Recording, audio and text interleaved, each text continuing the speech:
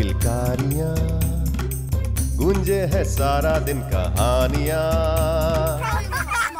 नमस्ते बच्चों, मैं हूँ आपका करण चाचू और आज एक बहुत ही मज़ेदार कहानी लेकर आया हूँ, जिसका नाम है खरगोश और शेर।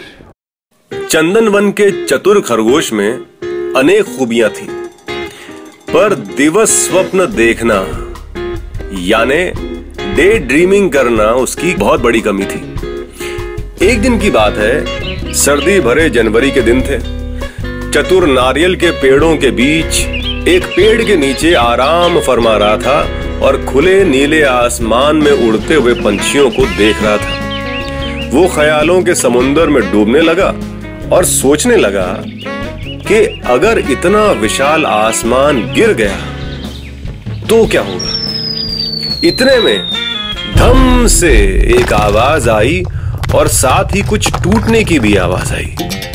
चतुर उछल कर खड़ा हो गया और इधर उधर हैरानी से देखने लगा। वो घबरा गया और बोला, लो, जिसका डर था वही हुआ।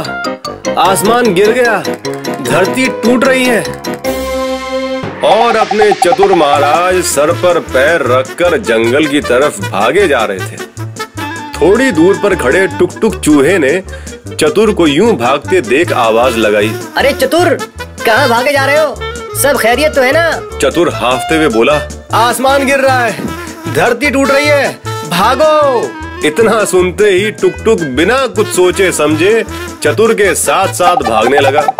दोनों चिल्लाते जा रहे थे आसमान गिर रहा है धरती टूट रही है भागो सब भागो अपनी जान बचा लो। आसमान टूटने की बात चंदन वन जंगल में आग की तरह फैल गई। बंदर, भालू, मोर, हाथी, गिलहरी, जो जो ये सुनता गया, वो बिना कुछ सोचे चतुर के साथ हो लिया और भागने लगा।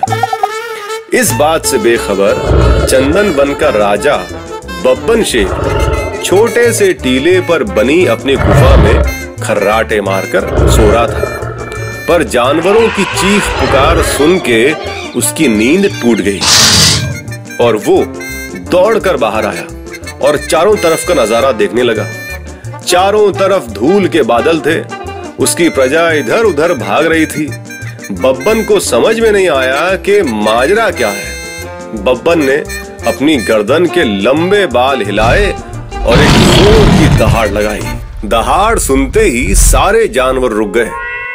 बब्बन टीले से उतरा और सबके सामने तन कर खड़ा हो गया और उसने पूछा तुम सब ऐसे क्यों भाग रहे हो?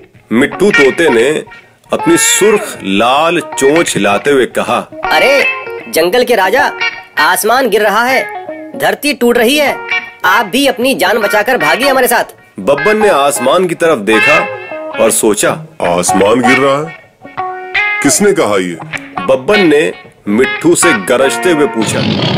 मिट्ठू ने अपनी गोल गोल आँखों से बंदरों के झुंड की तरफ़ इशारा किया और कहा इन लोगों ने। बंदरों ने हाथियों की तरफ़ इशारा किया।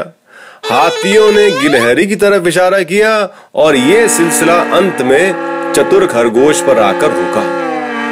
बब्बन ने चतुर खरगोश की तरफ़ देखा और कहा चतुर आसमान गिर रहा है। तुम्हें कैसे पता चला? चतुर ने कहा महाराज हमने अपने इन कानों से सुना एक बहुत ज़ोर की आवाज़ हुई धम से और फिर धरती टूटने की आवाज़ आई। इतना सुनते ही बब्बन सबको लेकर उस जगह पहुँचा जहाँ चतुर ने ये आवाज़ सुनी थी। बब्बन ने अपनी तीखी नज़रों से चारों तरफ़ देखा और फिर ज़ोर ज़ोर से हंसने लगा। सारे जानवर बब्बन की तरफ़ देखने लगे बब्बन ने जानवरों की डरी हुई हालत देखी और बोला, आसमान अपनी जगह पर है और हम सब सुरक्षित, यानी सेफ़ हैं। इस नारियल के पेड़ से एक नारियल गिरा था, धम से, और वो आकर गिरा इन पत्थरों के ढेर पर, जिससे पत्थर गिरने लगे अपने चतुर जो कि हमेशा अपने ख्यालों की दुनिया में रहते हैं, इन्होंने नारियल के गिरने की आवाज़ सुनी और सोचा कि आसमान गिरा और पत्थरों की आवाज़ सुनकर सोचा, धरती टूट रही है। चतुर इधर उधर देखने लगा।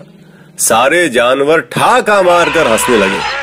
फिर बब्बन ने एक और दहाड़ लगाई और कहा अगली बार बिना सच्चाई जाने सुनी सुनाई बातों में मत आना।